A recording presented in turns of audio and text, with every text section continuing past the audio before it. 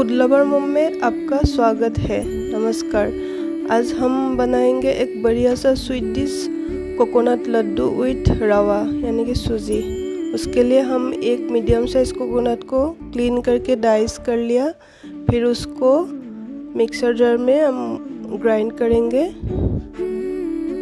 अभी अच्छा से ग्राइंड करने के बाद इसमें हम मिलाएँगे लगभग फाइव स्पून शुगर शुगर आप अपना स्वाद के अनुसार डालिए, लेकिन वो शुगर बाइंडिंग में भी हेल्प करता है तो इसीलिए फाइव स्पून में डाली हूँ। और इसको ग्रिटेड कोकोनट के साथ हम मिक्स करके अच्छे से रख देंगे थोड़ी देर के लिए। फिर एक पैन गरम करके उसमें एक स्पून घी डालूँगी, और घी में लगभग 200 ग्राम यानी दो कप रवा सूजी डाल के उसको अच्छे से रोस्ट करूँगी।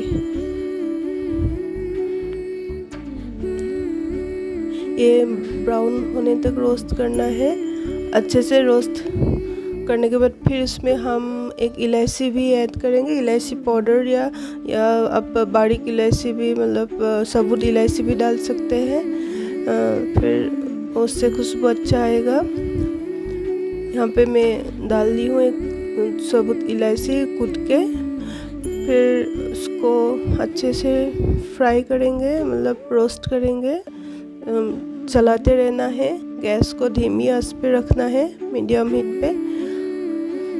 फिर हम एक साइड में ड्राई फ्रूट्स भी काट कर लेंगे। ड्राई फ्रूट्स में मैं डाली हूँ कशुनाथ आमंड और रेजिन उसको थोड़ा छोटा छोटा टुकड़ा कर लिया। और फिर अभी ये ब्राउन कलर हो गया तो इसमें ड्राई फ्रूट्स ऐड करेंगे। ऐड करके फिर थोड़ी देर के लिए और भुनेंगे इसका खुशबू अच्छा आ रहा है घी का और ये रोस्टेड वाला। और अभी देखें ना, ये अच्छा सा ब्राउन कलर हो गया है बुनना हो गया है। ये बुनना बहुत इम्पोर्टेंट है और अभी इसमें जाएगा वो पहले से रखा हुआ कोकोनट मिक्सर कोकोनट और शुगर मिक्सर फिर उसको धीमी आँच में चलाते रहना है। इतना तक चलाना है कि ये अच्छे से लाडू हम बाइंड कर सकते हैं, उसका स्टिकीनेस होना चाहिए इसमें। तो अभी हम अच्छे से चलाएँगे। कर्शिप को बिल्कुल छोड़ना नहीं है गैस को धीमी आँच पे ही रखना है।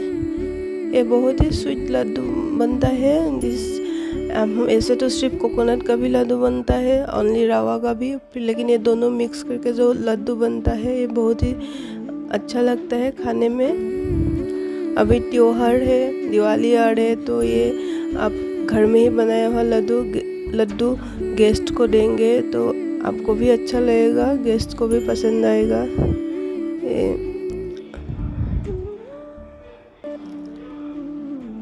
अभी ये भुनना ऑलमोस्ट हो गया है। हम इसको, अभी उंगली से देखेंगे। उंगली के टिप में अगर ये लग रहा है कि बाइंड हो रहा है तो मतलब ये हो गया है। और अभी ये हम गैस को ऑफ़ कर देंगे।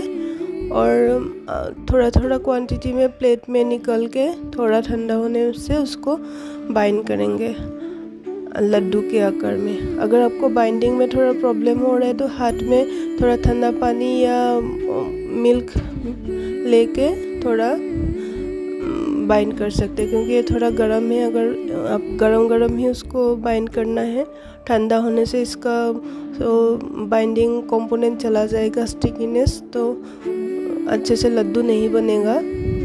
आप इसको बर्फ़ी का आकार भी दे सकते हैं और आसान होगा। अभी देखो ये बढ़िया सा लड्डू तैयार है। हम एक मीडियम साइज़ कोकोनट में ऑलमोस्ट मेरा थर्टी लड्डू बन गया है।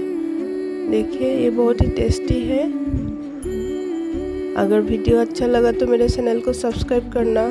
आप सभी को दिवाली के बहुत सारे शुभकामनाएँ enjoy happy Diwali thanks for watching bye फिर मिलेंगे एक नया वीडियो के साथ।